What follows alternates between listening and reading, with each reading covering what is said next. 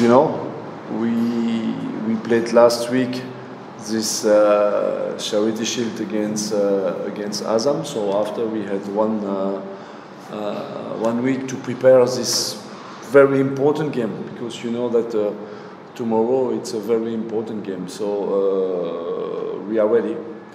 We are ready. We know that we need to win to win this game, and uh, we will be uh, we will do everything to, to, to do that. So uh, uh, players are aware of the of the situation.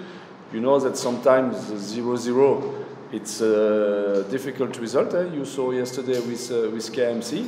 Uh, so we need to be to be very careful. But we know we face a, a very good team. It will be a, a tough game, a very tough game.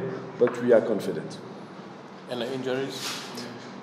We have some players injured, yes, uh, because uh, Ajibu will not able to, to play, uh, Bocco will not able to play, Da Silva will not able to play. So uh, about our offensive players, it's a, it's a problem. But you know, I trust uh, I trust uh, everyone, and we worked we worked especially in South Africa with, with all these groups. So uh, uh, tomorrow every, will be, everyone will be ready and 100%, no problem.